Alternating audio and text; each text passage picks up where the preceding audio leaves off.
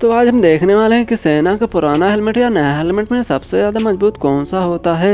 तो यह है उन्नीस सौ अड़सठ का हेलमेट और यह है 2008 का हेलमेट। तो सबसे ज़्यादा मज़बूत कौन सा होता है? हाइड्रोलिक प्रेशर मशीन से हम इसको प्रेस करते हैं। कि आप देख सकते हैं उन्नीस सौ अड़सठ का हेलमेट सबसे ज़्यादा मज़बूत होता है। तो सेना के सम्मान में वीडियो को लाइक करो।